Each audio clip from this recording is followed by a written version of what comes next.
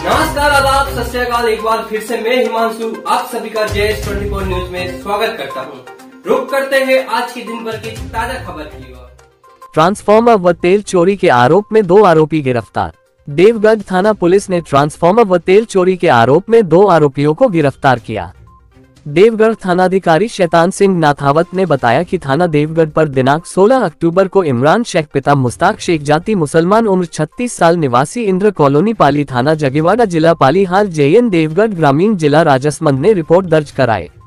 ग्राम कानियाना में 14 अक्टूबर रात को राजकीय सामग्री डिवीज़न ट्रांसफ़र अज्ञात चोरों द्वारा चुरा लिया गया। देवगढ़ थानाधिकारी ने रिपोर्ट दर्ज कर प्रकरण संख्या 418 बटा 2021 धारा 136 विद्युत अधिनियम तीन सौ उन्यासी भादस में दर्ज कर अनुसंधान शुरू किया गया।